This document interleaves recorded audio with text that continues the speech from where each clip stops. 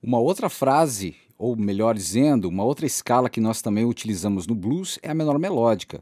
A menor melódica ela funciona da seguinte forma: 5, 7, 8, 5, 7, 9, 6, que é a sétima maior, é menor com sétima maior. 6, 7, 9, 5, 7, 9, 7, 9, 10 e 7, 8, 10. Essa escala menor melódica você pode trabalhar do playback de forma livre, só que só tome cuidado com as notas de repouso, tipo a sétima maior, não ficar muito tempo estacionado nela. Mas também não precisa ser que nem uma Blue Note, né, muito rápida, ela pode... Veja a sonoridade dessa escala.